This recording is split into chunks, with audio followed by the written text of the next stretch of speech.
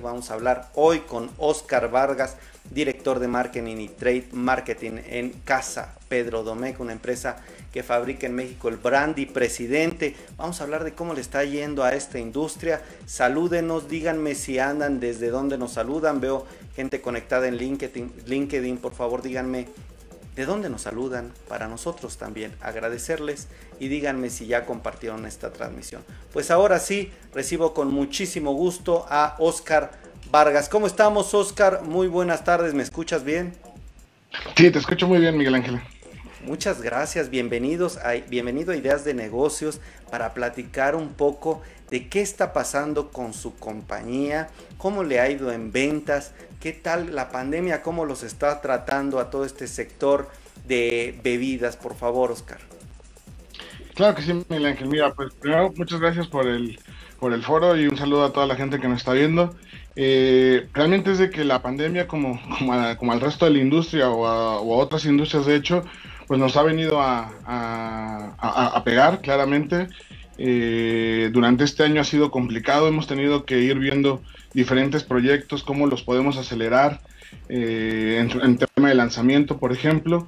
Pero bueno, aún así, por eh, nuestro año fiscal que nosotros cerramos en, agosto, ya con seis meses de la pandemia, tuvimos un crecimiento de un 1% en términos de valor contra el año pasado, lo cual realmente es que fue un, un gran éxito desde nuestro punto de vista, ya que con seis meses de, de pandemia encima, logramos vender 1% más que el año pasado, ¿no? Y, eso está dividido por el portafolio de lo que tenemos. Tenemos un portafolio que, puede estar más enfocado en la parte del on-trade que otro portafolio que puede estar más hacia la parte de consumo en casa. Y ahí fue en el on-trade, que es la parte de restauración, que son bares, restaurantes, hoteles, donde hemos visto un poco más mermada la industria, ¿no?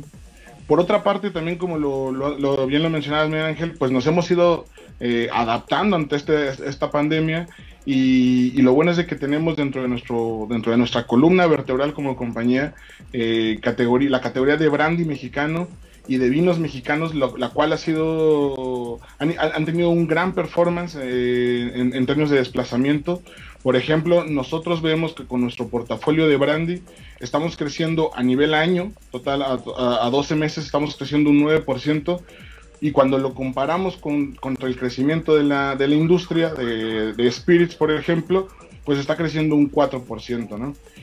Y, y, qué bueno que mencionabas la parte de presidente. Presidente para nosotros es la marca más importante de, de la compañía, representa algo así como la, el 50% de lo que es nuestra compañía y, desde hace tres años hemos estado trabajando con esta marca muy fuerte. Primero, entendiendo qué era lo que le, dolía a la marca, qué oportunidades tenía. Y empezamos trabajando en un tema de generar posicionamientos de, marca y campañas de comunicación que era necesario empezar a comunicarle al consumidor.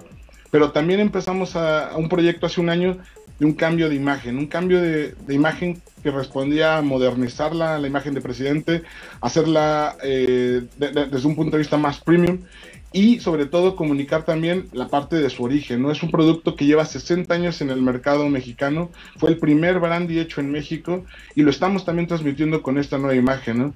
Y cuando vemos los resultados que ha tenido presidente en el último año, es que presidente viene creciendo un 17% en, en, en valor, lo cual eh, como puedes ver, pues eh, aún con todo y pandemia, pues presidente ha venido performando bastante bien, ¿no? Y es un crecimiento que se ha mantenido durante los últimos dos años. Hemos hecho eh, los proyectos adecuados para que la marca así vaya, vaya mejorando día con día y lo estamos viendo, ¿no? Con los resultados que tenemos.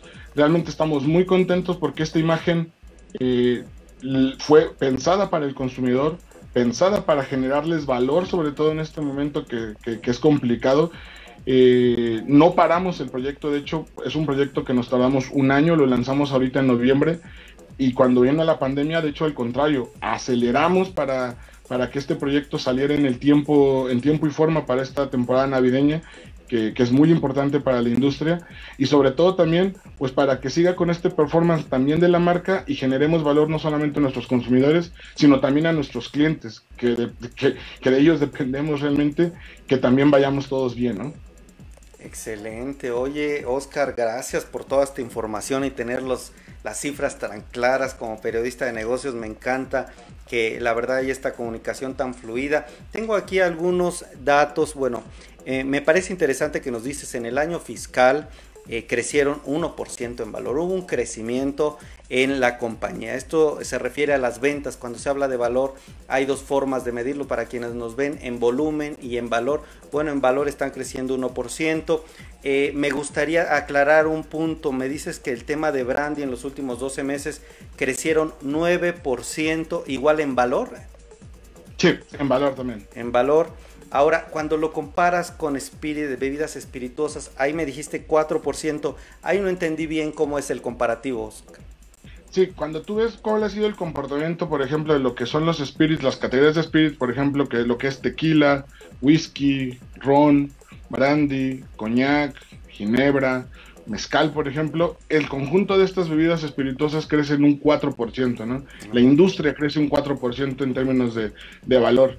Y nosotros con nuestro portafolio de brandis estamos creciendo un 9%, ¿no? Estamos creciendo de manera más acelerada que la industria, lo cual nos lleva a ver también que estamos ganando share eh, como compañía, ¿no? Claro, de más del doble en términos porcentuales, bueno, estaríamos hablando de más de 500 puntos base, interesante. Ahora, platícame por favor un poco de la empresa, el portafolio, qué bebidas ustedes producen, en dónde, eh, cuántos empleos generan, eh, cuál es el impacto de Casa Pedro Domecq aquí en nuestro país, por favor.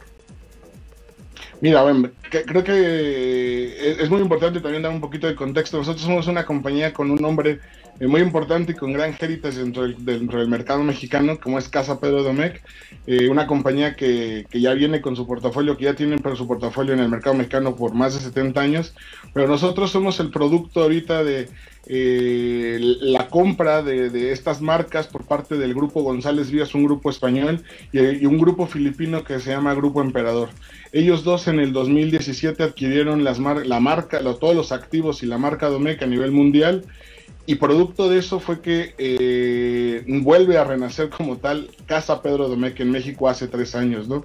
Teniendo como bastiones o como nuestra columna vertebral los brandes mexicanos como marcas muy importantes como Presidente, Don Pedro y Azteca de Oro, y también los vinos mexicanos, ¿no? Tenemos una, bodega en, en Ensenada, en, en el Valle de Guadalupe, con marcas tan importantes en el mercado mexicano también como un Chateau Domecq, un XA, un Reserva Magna, ¿no?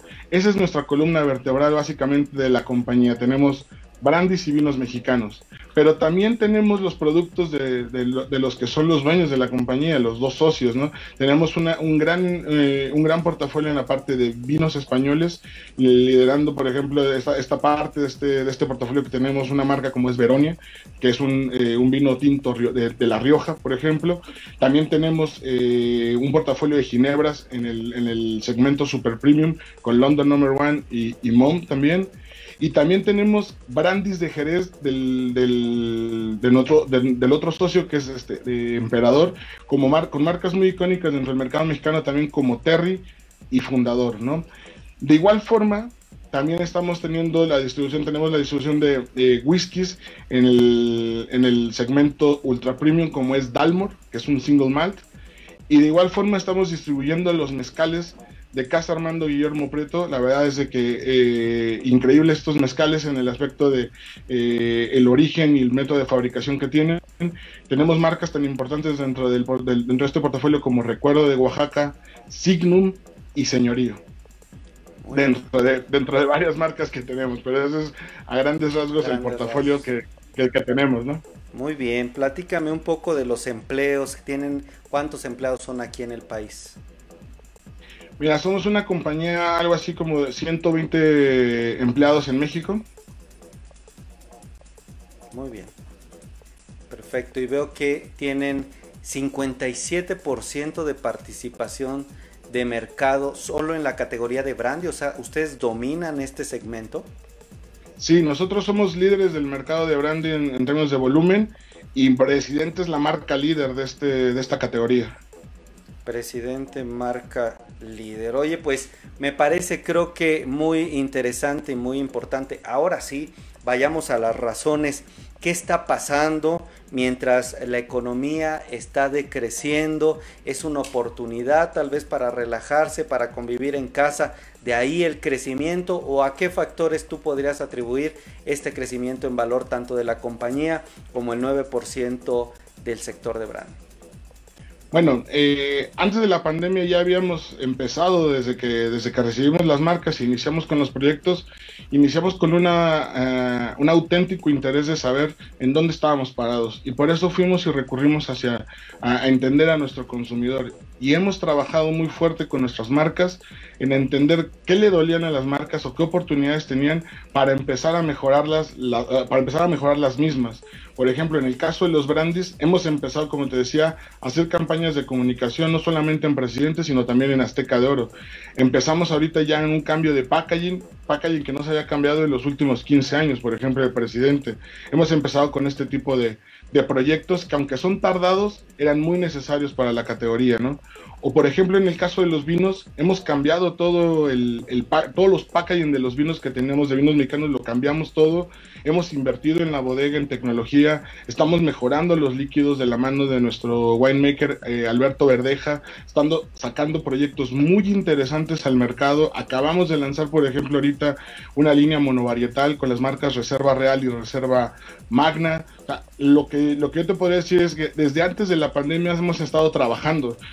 Complicado porque no es un trabajo de un día para otro, sino hemos estado picando piedra en los últimos tres años para empezar a ver estos, eh, estos frutos, ¿no? Y durante la pandemia, pues nosotros como lo hemos entendido es cerrar filas con, con nuestros clientes, con nuestros clientes eh, retailers, con nuestros clientes mayoristas. Y la mejor manera de, cerrar filas con ellos es pues, siguiendo eh, invirtiendo en la categoría, en las marcas, generando más negocio para ellos a través de generarle valor al consumidor. Esa es la manera en como nosotros lo, lo hemos eh, identificado y lo hemos traducido. ¿no? De hecho, por ejemplo, te diría, un, un, un, sector que ha sido muy afectado por las restricciones de, del gobierno y de igual forma probablemente por la propia conciencia del consumidor en, en, cuidarse, pues es el, el, canal de, restauración, ¿no?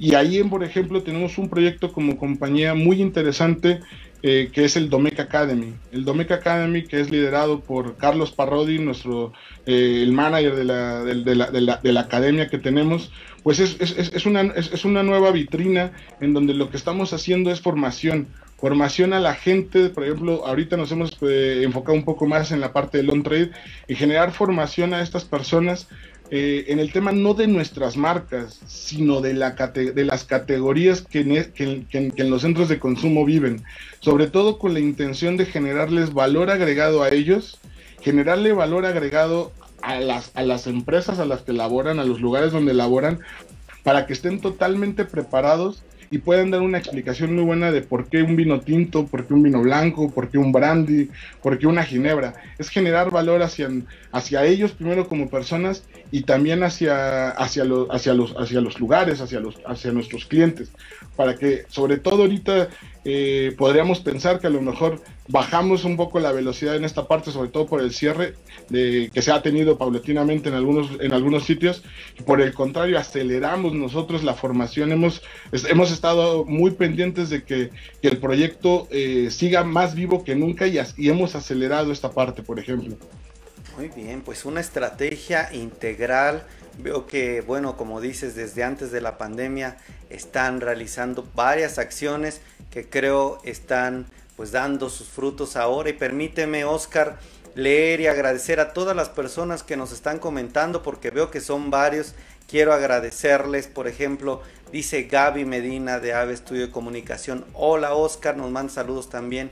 Elia Avivil dice saludos desde Iztapalapa. Gracias, mi querida Avivil, por vernos desde allá. Ayala Lilo también nos manda saludos. Mariel Medina, Laura Teresa desde LinkedIn, Lauro González manda saludos, Josefina, Rubén Flores, Gloria Gómez, Alma Flores dice bienvenidos, Daniela Benoit, Michelle, María de los Ángeles, Silvia Sierra, experta en comunicación, también nos dice saludos Miguel y Oscar desde LinkedIn, pues muchas gracias. Fernanda Cabral en Facebook dice qué rico un brandy y gracias Lauro también en LinkedIn por estar contactando. Pues para el cierre, Oscar, ¿qué mensaje? Creo que tiene nueva imagen, por lo que nos estás contando, creo que es un... Eh, una parte importante de toda una estrategia que está detrás. Hacia adelante, ves que venga más crecimiento, están positivos, son una industria que al menos está prudente. ¿Cómo defines los próximos años? Porque tenemos, los próximos meses tenemos ya un minutito. Sí, mira, la verdad es que estamos optimistas, sabemos que es, este es un momento difícil, pero es un momento coyuntural y sabemos que lo vamos a vencer. Seguimos lanzando proyectos como este, como el de presidente, con una nueva imagen, con una nueva, con un nuevo eslogan que es de México para todos, con este, con esta intención de seguir generando valor y no cejaremos en ese, en ese, eh, en ese sentido. Estamos convencidos que hoy más que nunca tenemos que cerrar filas con nuestros clientes y con nuestros consumidores, generando proyectos que les generen valor a ellos. Muy bien, pues Oscar Vargas director de marketing y trade marketing en Casa Pedro Domega. Ha sido un placer que estés con nosotros en Ideas de Negocios. Que tengas muy buen martes y un abrazo, Oscar. Muchísimas gracias, Miguel Ángel, igualmente. Hasta la próxima.